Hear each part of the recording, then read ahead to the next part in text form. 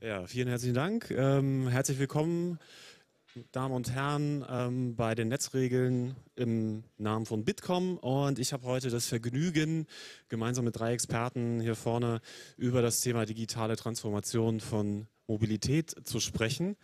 Ähm, Herr Lotter hat es ja schon vorhin erwähnt. Ähm, es gibt verschiedene Dimensionen. Es gibt eine Revolution, es gibt eine Evolution.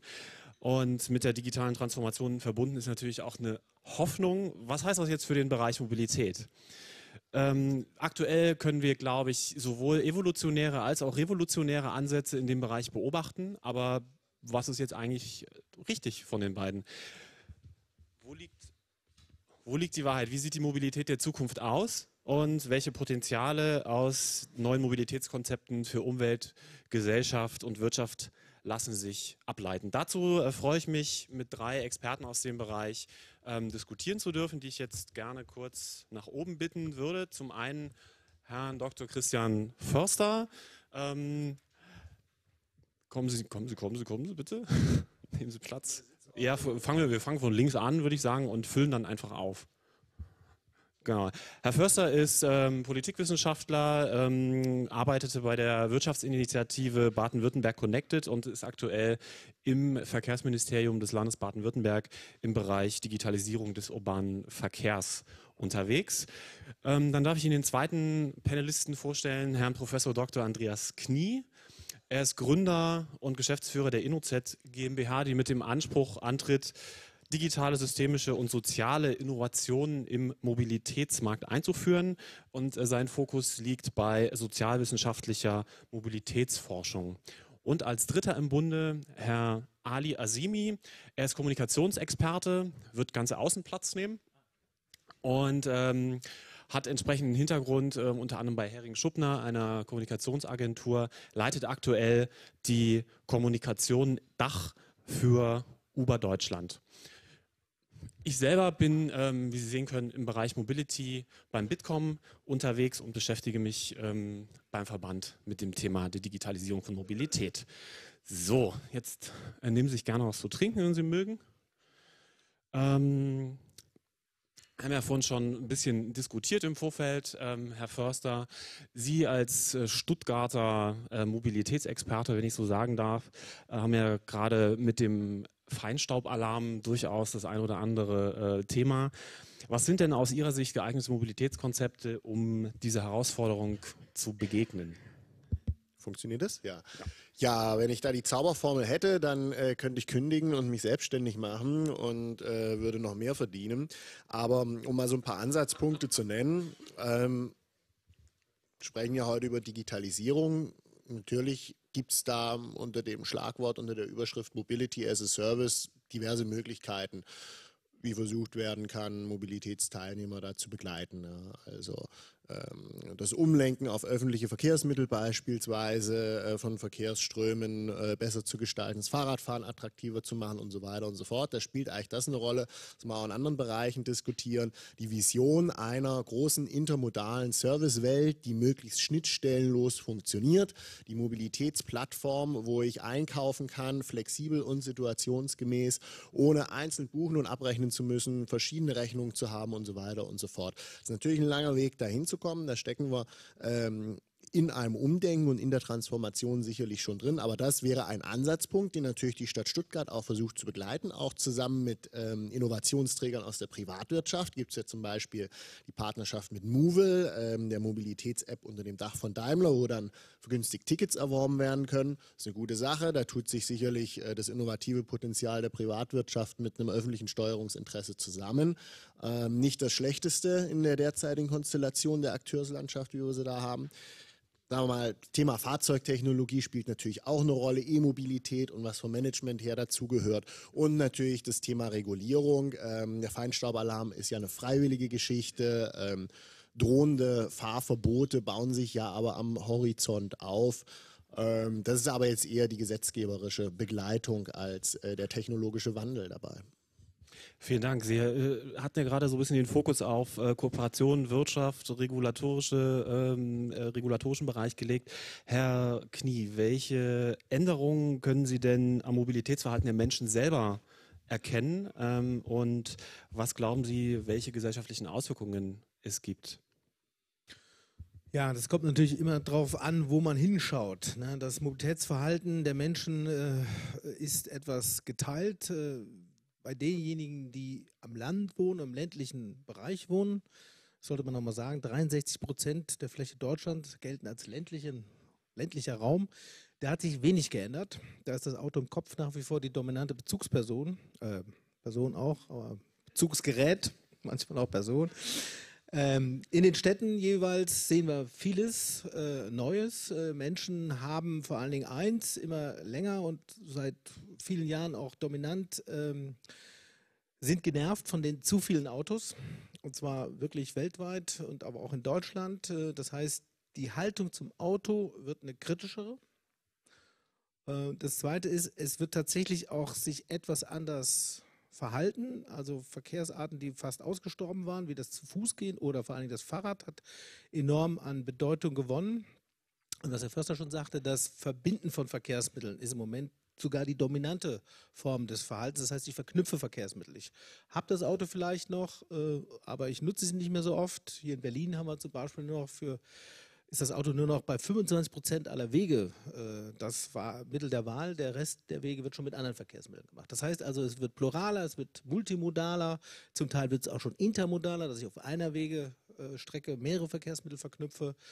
Und insgesamt, äh, das gilt jetzt auch wieder fürs Land, hat sich jetzt gegenüber dem Auto eine, eine, wie wir sagen, eine Säkularisierung eingestellt. Das Auto ist also wirklich tatsächlich nicht mehr die Ikone der Moderne. Es ist nicht mehr wichtig, welches Auto ich habe, wie viel PS äh, das hat, äh, was das auf dem Tacho hat, äh, welche Marke, das ist nicht mehr entscheidend. Aber es ist halt immer noch da und es wird auch immer noch ganz oft verkauft. Herr Simi, ähm, wir haben gerade gehört, die Verknüpfung von Verkehrsmitteln wird äh, immer wichtiger. Ähm, wie schließt denn Ihr Unternehmen Uber ähm, an solche multimodalen Systeme an, zum Beispiel den öffentlichen Personennahverkehr? Oder wie können Sie sich das vorstellen?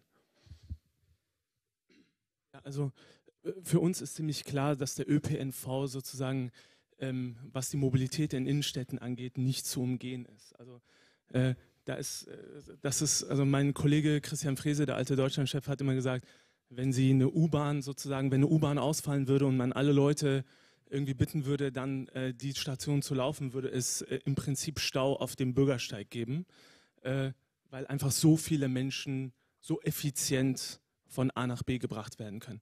Wo wir von U-Bahn natürlich ansetzen können, ist zu Randzeiten. Ähm, also dann, wenn die äh, öffentlichen Verkehrsmittel nicht mehr so äh, häufig fahren, würde ich mal sagen. Und äh, das sehen wir auch in unseren, sagen wir mal, äh, in unserer Nachfragen, äh, in, in, der Nachfragekurve sozusagen. Sobald es spät wird, sobald es abends wird, sobald es Wochenende ist, geht die Nachfrage nach oben. Und ähm, letztlich ist das ist das, äh, glaube ich, geht das Hand in Hand. Also wir wissen alle, dass es, also die, zumindest die neuen Mobilitätsanbieter wissen alle, dass es in Silos nicht mehr funktioniert. Also ähm, mit dem gleichen Verkehrsmittel hin wie zurück ist mit Komplexität verbunden. Man muss es irgendwo abstellen, äh, man muss sich darum kümmern, man muss auch auf dem gleichen Weg wieder zurückkommen. Äh, und wir sehen einfach, dass Leute, die äh, eine, sag ich mal, Option haben, abends, wenn es spät wird oder wenn man was getrunken hat, wenn sie wissen, ich komme da verlässlich und auch bezahlbar nach Hause, dann sind sie eher geneigt, morgens auch die Bahn zu nehmen, weil sie wissen, ich bin im Prinzip hinten raus abgesichert. Und das ist, das ist das Verhalten unserer Nutzer, wenn wir mit ihnen sprechen. Das sind Carsharing-Nutzer, das sind Bikesharing-Nutzer, das sind ÖPNV-Nutzer und das sind dann später am Abend auch Uber-Nutzer. Und äh, so funktioniert es. Und ich glaube, je dichter dieses Netz ist, das wir anbieten, ähm, äh, desto besser ist es für uns alle. Letztlich, glaube ich, ist unser Markt äh, nicht Taxikunden abzuwerben, wie oft gedacht, sondern äh, im Prinzip denjenigen zu überzeugen, der morgens alleine hinterm Steuer sitzt, in einem leeren Auto, äh, äh, bisschen Stau mitnimmt, den zu überzeugen, ey, vielleicht ist es für dich effizienter, einfach dich auf diesen Mix einzulassen.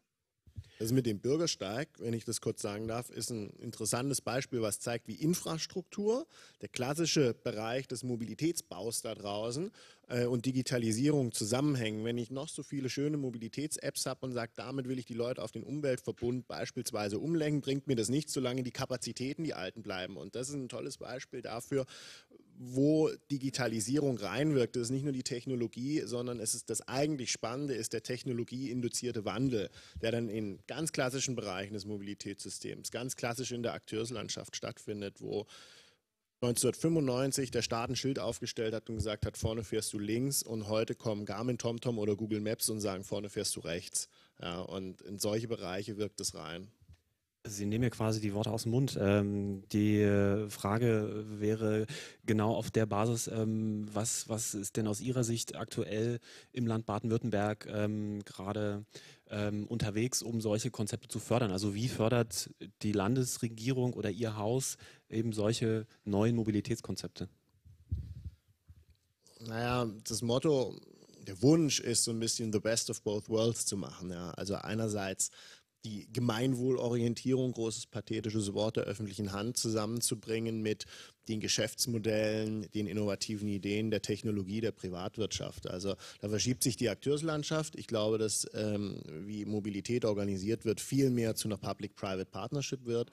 Wir versuchen einerseits Voraussetzungen zu schaffen, eine digitale Infrastruktur von Verkehrsdaten beispielsweise aufzubauen, wo sich neue Geschäftsmodelle, Startups aufsetzen können, aber wo es sinnvoll ist, auch ganz konkret mit einer Förderung von Pilotprojekten, das wäre der klassische Weg reinzugehen.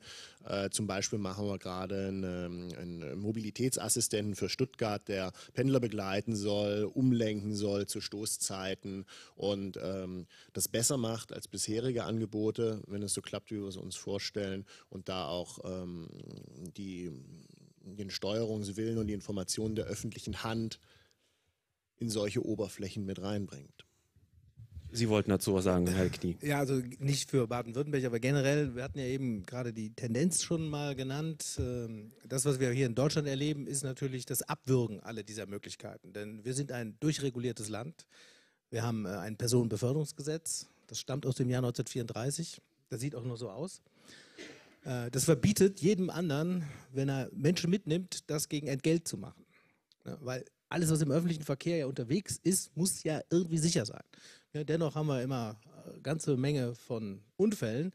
Das heißt, wir haben im Moment äh, unter dem Begriff der Daseinsvorsorge ein so strenges Reglement, und damit aber hinterrücks eine so starke Favorisierung des privaten Automobils, von der Steuergesetzgebung, vom Baurecht, von der Straßenbenutzungsgebühr, hatte ich beinahe gesagt, hin bis zur Stellplatzverordnung, das private Auto ne, wird so gefördert, sie können in Deutschland für Anwohner kein Parkticket ausstellen, was mehr als 30 Euro pro Jahr kostet. Hier in Berlin übrigens nur 10 Euro pro Jahr. Ne. Das müssen Sie sich mal vorstellen, dass Sie als Anwohner quasi das Anrecht auf einen privaten Parkplatz im öffentlichen Raum haben. Da kann man sich nicht wundern, dass alles, was wir in digitaler Welt möglich könnten, gar nicht nutzen können. Ne, wir haben einen Paragraphen, wir haben auch den Paragraph 175 mal abgeschafft, den gab es mal.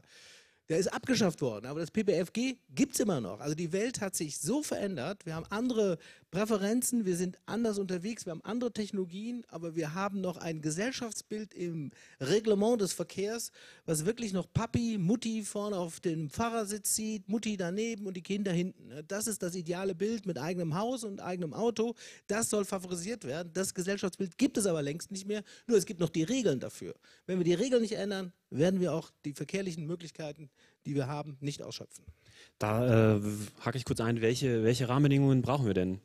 Ja, äh, wir müssen jetzt erstmal alle, äh, wir brauchen erstmal das PPFG muss einfach schlichtweg abgeschafft werden. Stellplatzverordnung muss abgeschafft werden. Die Steuererleichterung für pra privaten Autobesitz. Wenn Sie Kinder haben, selbst schuld. Haben Sie aber ein Auto, können Sie das noch gewerblich abstellen, absetzen. Ne? Ab, abschaffen, abschaffen, abschaffen, abschaffen. Wir, wir tun jedes Jahr 8 Milliarden Euro für Diesel subventionieren.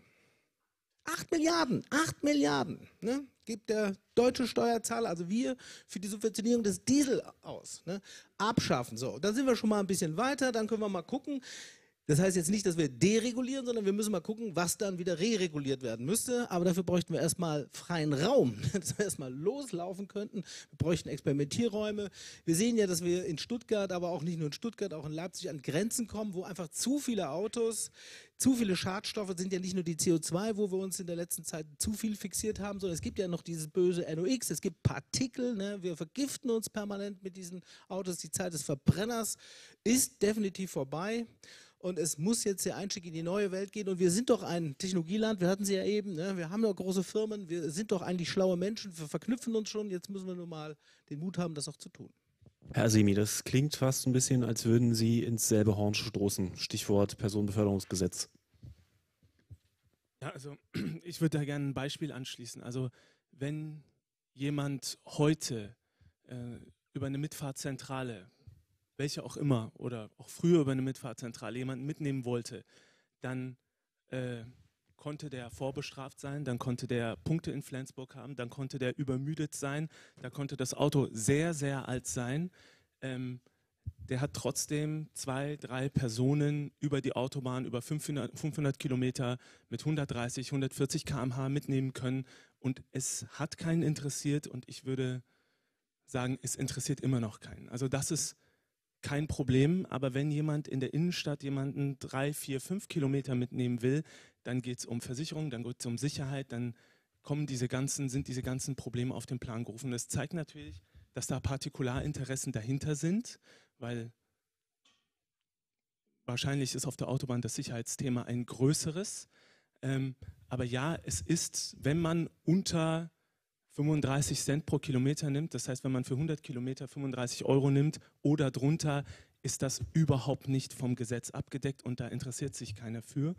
Und die Frage, die wir uns natürlich stellen, ist, warum ist es so schwer, professioneller Fahrer zu werden mit den Voraussetzungen? Es macht natürlich Sinn für den Verbraucher, wenn man Gesundheitscheck macht. Es macht Sinn für den Verbraucher, wenn man äh, eine bestimmte Verlässlichkeit nachweist, aber macht es wirklich Sinn, wenn man drei bis sechs Monate dafür braucht, um professioneller Fahrer zu werden, wenn man heute arbeitslos wird? Äh, anderes Beispiel, wenn ich morgen jemandem roh, sozusagen rohes Hackfleisch vorsetzen will und Burger braten will, dauert das für mich einen Tag. Ich mache einen Gesundheitscheck, ich mache einen halbtägigen IHK-Kurs und bin dann im Geschäft und darf Essen verarbeiten, Hackfleisch verarbeiten für Menschen. Aber wenn ich jemanden fahren möchte, muss ich alle Straßen in Berlin auswendig lernen und alle Verbindungen zwischen allen Straßen. Das nennt sich dann Ortskenntnisprüfung. Ähm, allein das, also zu uns ins Büro, wir haben ja Sprechstunden, da kommen unsere ganzen, wir arbeiten ja auch mit Taxi zusammen, Taxis zusammen in Berlin. Da kommen jeden Tag äh, Dutzende Taxifahrer rein, auch Dutzende Interessenten, die sagen, ich möchte professioneller Fahrer werden, ich bin arbeitslos geworden. Und dann sagen wir, okay, setz dich, ähm, du musst alle Straßen auswendig lernen und alle Verbindungen und bei der Prüfung auch sagen, wenn da eine Baustelle ist, wie du dann diese Baustelle mit Straßennamen umgehen würdest. Du musst eine IHK-Prüfung machen, bei der, es, bei der es um Sondermüllverordnungen geht und um Accounting, Buchungssätze und wenn dein Auto dann noch die Voraussetzungen erfüllt, darfst du Personen selbstständig fahren. So, und dann drehen die sich um und gehen. Ja? Und das ist die Realität. Und da müssen wir uns fragen, warum ist dieser Markt so durchreguliert? Warum ist es so schwer, für Geld Menschen von A nach B zu fahren? Wenn viele Leute vernünftig Auto fahren können, wenn es Airbags und Anschnallpflicht gibt, es sind nicht mehr die 60er Jahre, aber das Gesetz repräsentiert die 60er Jahre. Damit äh, stehen wir ja vor einer Herausforderung, die Politik und Wirtschaft gemeinsam bestreiten muss. Herr Förster, ähm, welche, äh, welche Maßnahmen ergreifen Sie denn, um eben Interessen von Wirtschaft, Politik, aber auch Start-ups und ähm, Investoren im, am Ende zusammenzubringen? Ja, also es hat nicht nur sicherlich nicht nur mit Regulierung zu tun, sondern auch eine gute Portion mit Protektionismus in dem Fall. Und prinzipiell finden wir das natürlich erstmal super, wenn ein Startup, ein neues Unternehmen mit einer neuen Idee kommt, das System da mal kräftig durcheinander würfelt. Ja. Ähm, weil genau das die Trends sind, auf der neue Themen, neue Mobilität sich aufsetzen wird, Sharing Economy. Ähm, ja, ich meine, wir, wir sagen bestimmt nicht, dass wir das irgendwie alleine hinkriegen und nichts mit der Wirtschaft zu tun haben wollen. Ganz im Gegenteil, um Gottes Willen. Also es gibt zum Beispiel in Baden-Württemberg jährlich ein Investitionsforum für Startups aus dem Mobilitätsbereich. Super Sache, beobachten wir sehr genau, schauen wir uns sehr genau an, was da gemacht werden kann. Ähm, gibt ja Mechanismen auch einer etablierten Startup- und Geschäftsmodellförderung. Wir können uns schon vorstellen, auch als Verkehrsministerium nochmal genauer einzugreifen und uns das Hilfestellungen zu bieten. Ja. Das ist eigentlich der Punkt, den ich vorhin skizziert habe. Wir können das nicht mehr alleine machen. Wir wollen es auch nicht mehr alleine machen, weil es da draußen viel zu viele, viel zu gute Ideen gibt, die man überhaupt nicht ignorieren kann und sollte. Aber wenn ich da, aber sie, sie kommen eben nicht zum Tragen. Ne? Die Shared Economy kommt in Deutschland nicht zum Tragen, weil sie eben verboten wird. Also Uber ist verboten oder das äh, gewerbliche Mitnehmen von anderen Menschen ist in Deutschland verboten. Wir haben parallel im InnoZ gerade mit den Local Motors machen wir eine Tour mit autonomem Fahren. Ne? Ist natürlich in Deutschland verboten. Können ja gefährlich sein. Ne? Das heißt, was für eine Regelungskultur haben wir im Hintergrund? Und jetzt muss man mal ganz kurz mal ein bisschen historisch werden. Das Auto, wie wir es kennen, die Struktur, die wir jetzt, an der wir leiden, die ist ja nicht vom Himmel gefallen, die ist auch eine politisch erzeugte.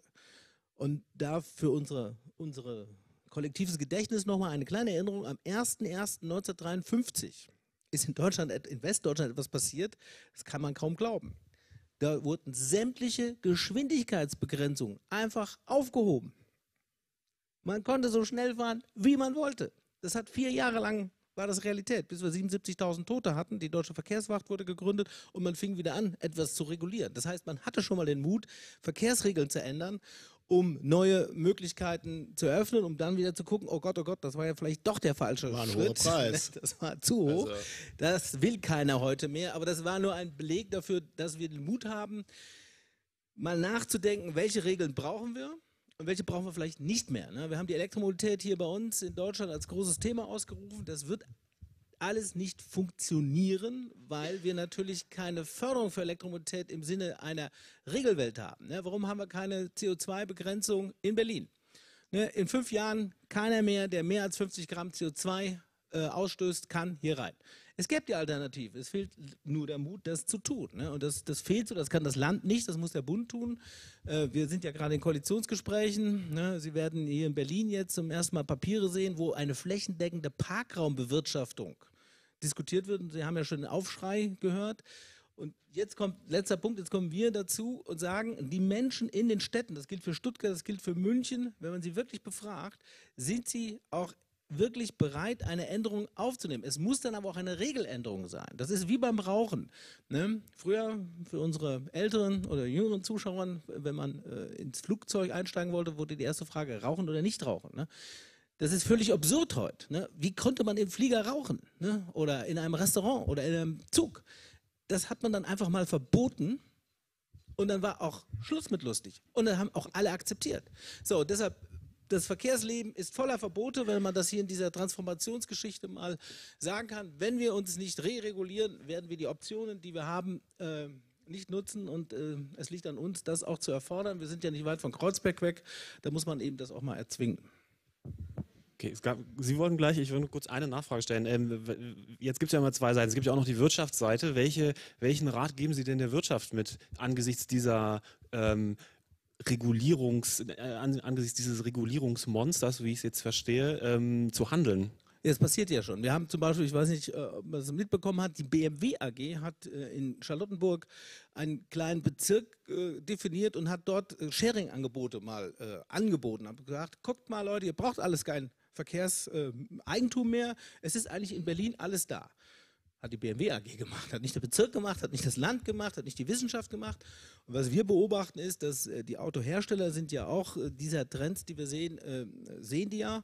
Und was wir aber beobachten, dass diese neuen Formen, Sie hatten es eben auch schon gesagt, die Movals, also die, die, die Digital Kits sozusagen der Unternehmen, ihre Experimentierräume nicht mehr in Deutschland haben. Die wandern nach Skandinavien, die wandern nach London, die wandern nach Kalifornien und die wandern jetzt nach China. Und wir verpassen sozusagen durch unsere Regulierungswut in einem bestimmten Pfadabhängigkeitsthema, verpassen wir diese Trends alle. Und deshalb gehen die Wirtschaft geht mit ihren, ähm, mit ihren Ideen, mit ihren neuen digitalen Ideen äh, in andere Länder. Herr Asimi. Ja, also kann, kann, ich kaum was hinzufügen. Ja? Also ähm, ich wollte nur ein Beispiel nennen von einem Gesetz, das wirklich hinterfragt werden sollte, das ist die Rückkehrpflicht. Ja? Also wenn jemand heute jemand irgendwie nach Schönefeld fährt und dort absetzt, ein professioneller Fahrer, ein sogenannter Mietwagenunternehmer oder ein Angestellter bei einem Mietwagenunternehmen ähm, und in einer Stunde die Anschlussfahrt hat, dann darf er dort nicht irgendwo in zwei oder drei Kilometer Nähe des Flughafens warten, sondern er ist gesetzlich verpflichtet, zurückzufahren zu seinem Betriebssitz, dort sozusagen einmal äh, abzuschlagen und dann wieder zurückzufahren in dieser Stunde, wenn es, wenn es sozusagen die, die Zeit hergibt. Das heißt, wenn der Weg eine halbe Stunde ist, ähm, in jede Richtung, dann da, muss er, muss er zurückfahren, um dann wieder in Schönefeld äh, jemanden abzuholen. Es sei denn, er ist ein Taxi, das muss man dazu Ach so, sagen. Entschuldigung, natürlich. Also, es sei, äh, denn es ist ein Taxi. Für alles außer Taxis gilt das. Und das, da, da muss man einfach äh, sich fragen, warum ist dieses Gesetz in den 80er Jahren nochmal sozusagen aktualisiert worden mit der Rückkehrpflicht? Ähm, wem dient das eigentlich? Also den Unternehmern, die versuchen, äh, sag ich mal, in den Wettbewerb zu gehen, dient das nicht, weil die haben zusätzliche Kosten. Im Übrigen können die dann auch keine Elektrofahrzeuge einsetzen, weil sie einfach zu viel außerhalb der Stadt unterwegs sind.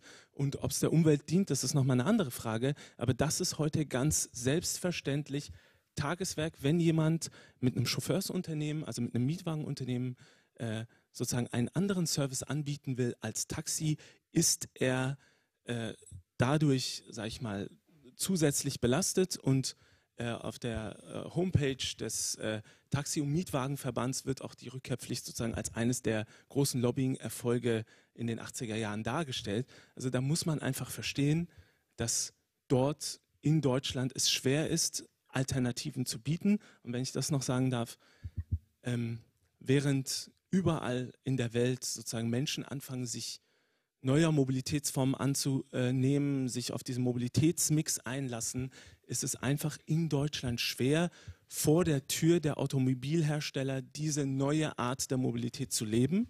Und wenn wir über das Silicon Valley nachdenken, eines der großen Stärken vom Silicon Valley ist, dass da große, sag ich mal, Funder sind und dass es da Geld gibt. Aber eine zweite große Stärke ist, dass es dort einen Testmarkt gibt. Ja, wenn ich im Silicon Valley eine App auf den Markt bringe, habe ich im Nu 100.000 Nutzer.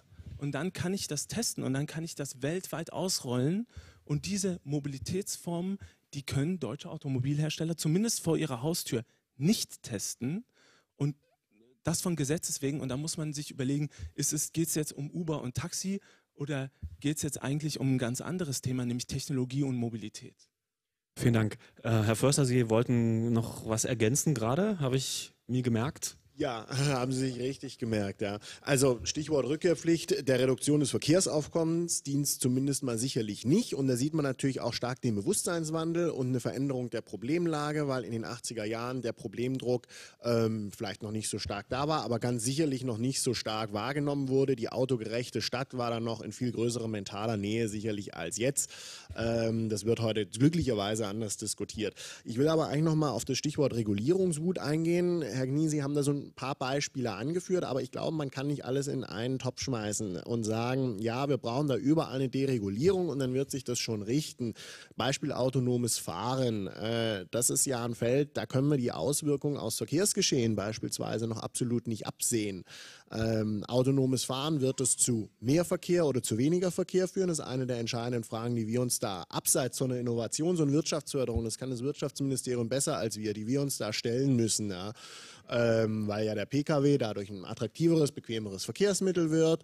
Es gibt solche, eigentlich muss man schon sagen, Horrorszenarien, wie ich lasse mich jetzt hier zu der Konferenz fahren von meinem autonomen Fahrzeug, finde keinen Parkplatz und sage dann im Auto, okay, wie lange brauche ich hier? Stunde Diskussion, dreh doch mal Runden hier drumrum. Ja. Und sowas ähm, wird man bestimmt nicht durch eine Deregulierung lösen können. Nee, aber durch ein Verbot des Eigentums. Ne? Auch eine ganz einfache. Wer braucht noch ein eigenes Fahrzeug in der Stadt? Ne?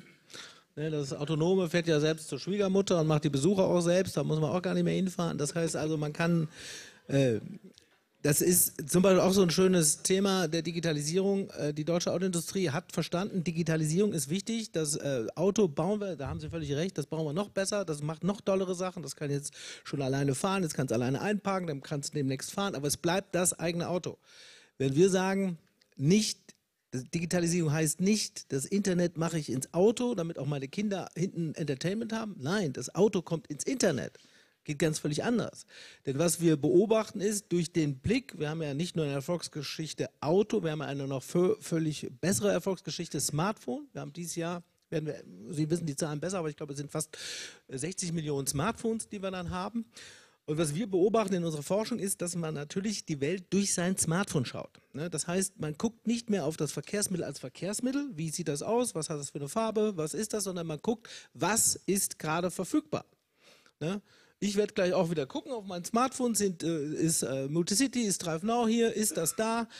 Und das Interessante ist, die Präferenz wird nicht mehr, das, Verkehr, das einzelne Verkehrsmittel entscheidet nicht mehr, ob ich es nutze, sondern ob es hier und jetzt sofort verfügbar ist. Völlige Verschiebung in den Mindsets müssen Sie an sich selber mal beobachten. Haben wir natürlich nicht unter Kontrolle, was das Gerät mit uns so macht. Ne?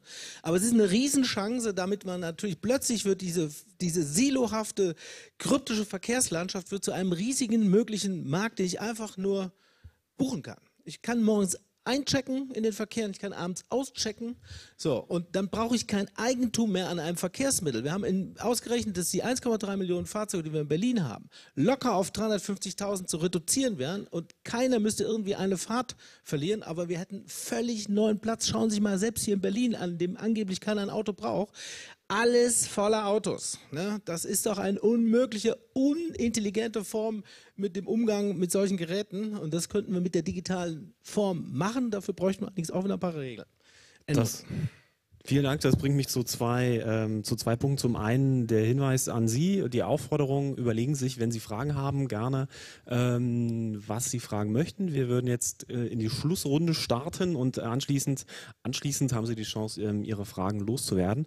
Ähm, eine Frage an alle, an alle, äh, an Sie alle drei. Ähm, was glauben Sie denn ähm, jetzt in den Schuhen des Mobilitätskunden oder Nutzers hinein versetzt? Äh, was glauben Sie, erwarten Nutzer von Mobilitätsanbietern im Jahr 2025?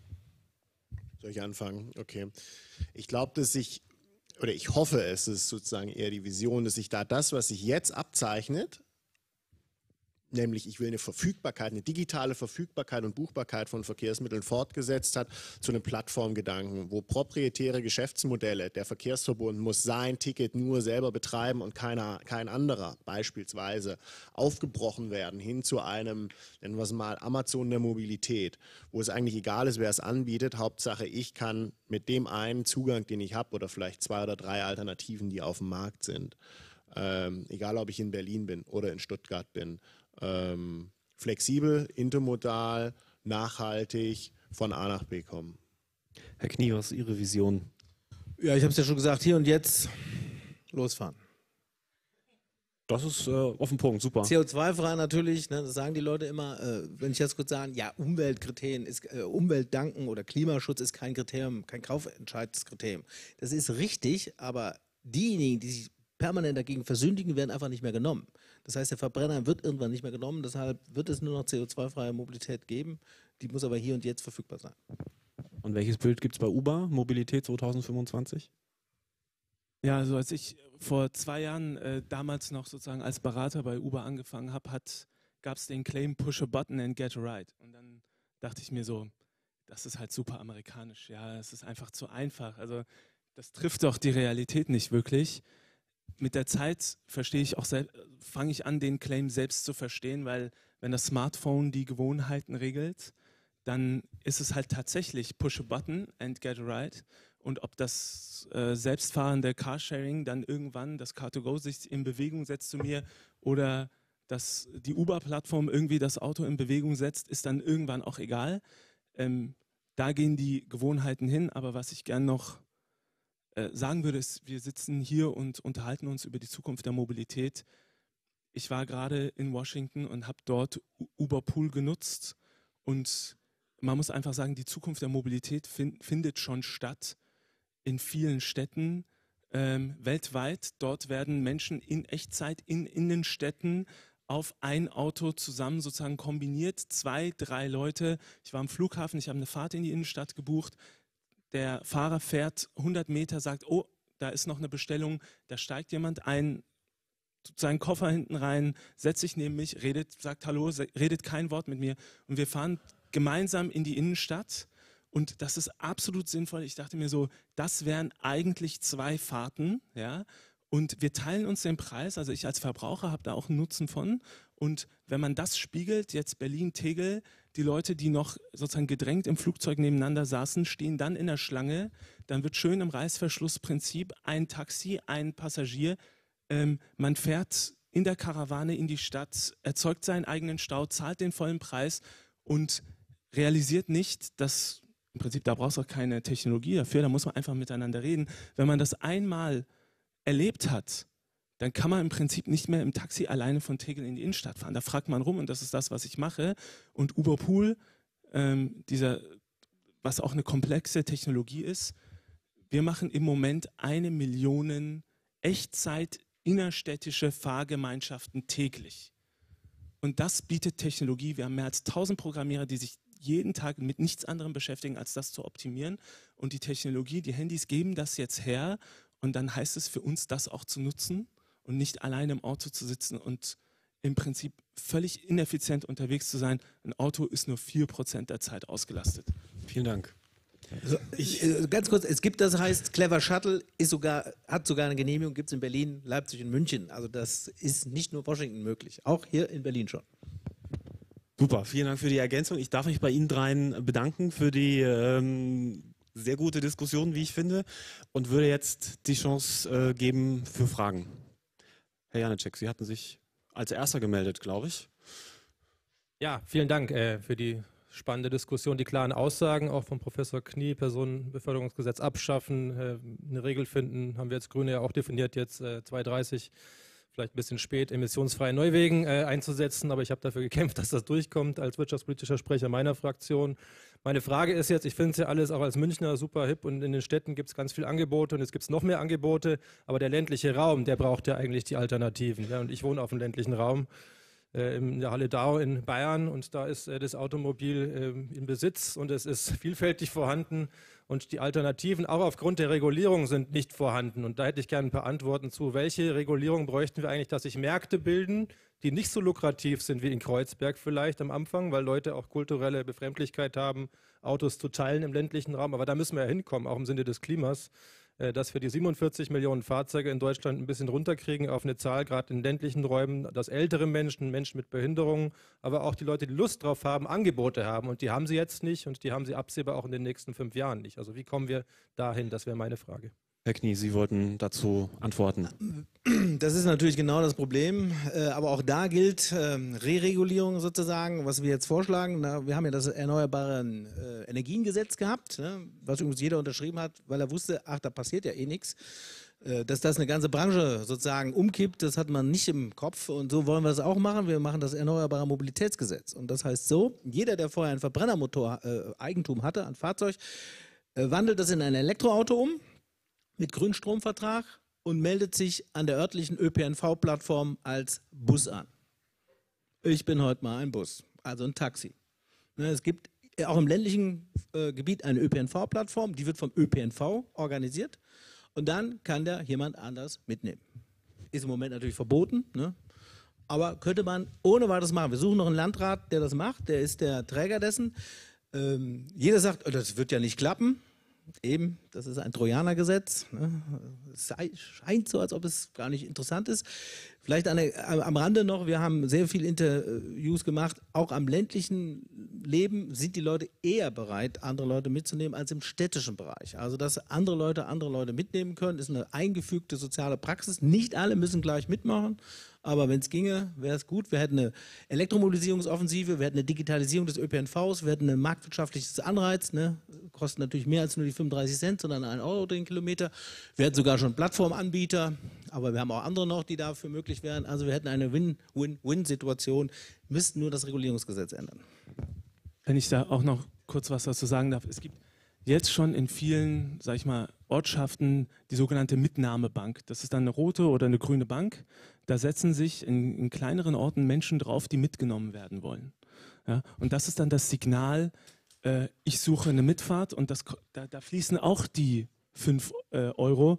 Äh, kurz um über die USA zu sprechen, dort ist es so, dass im ländlichen Raum, also Uber äh, deckt 75 Prozent der Bevölkerung in den USA ab. Und da ist es tatsächlich so, dass der Schuster irgendwie in einem Dorf, der noch zwei Stunden Geschäft hat am Tag, sein Geschäft irgendwie ähm, abwickelt und dann für die restliche Zeit die App anstellt und in dem kleinen Ort die Leute von A nach B fährt. Aber das Geschäftsinteresse der Sharing Economy wird, glaube ich, im ländlichen Raum viel stärker noch durch die zivilgesellschaftliche Rolle, Zivilgesellschaft, eigentlich ein blödes Wort, aber Sie wissen, was ich meine, ergänzt. Äh, Bürgerbusse sind ein gutes Beispiel. Sicherlich nicht der alleinige Lösungsbringer, aber eine sehr gute Sache, die wir auch versuchen natürlich zu fördern und zu unterstützen. Hier war noch eine Frage. Äh, ja, eigentlich habe ich drei Fragen an jeden Einzelnen, wenn das möglich ist. Geht ganz schnell. Äh, Herr Knie hat ja die, das äh, Eigentumsverbot fürs Auto vorgeschlagen, finde ich ganz hervorragend radikal. Was sagen Sie dazu von Uber? Würde mich interessieren. Dann, Herr Knie, ähm, wir haben jetzt sehr viel über das Automobil gesprochen. Sie haben es natürlich auch reichlich kritisiert, aber bei den Alternativen sozusagen in der digitalen Zukunft würde ich mir trotzdem eine Hierarchisierung wünschen, dass der ÖPNV die Nummer eins ist, in Städten zumindest, und das selbstfahrende Auto oder Uber oder was halt erlaubt werden wird, nachrangig Lücken füllt und ähnliches. Wie kriegen wir das hin? Wie kriegen wir da eine Regulierung hin? Regelt sich das über den Preis oder brauchen wir da mehr Regeln?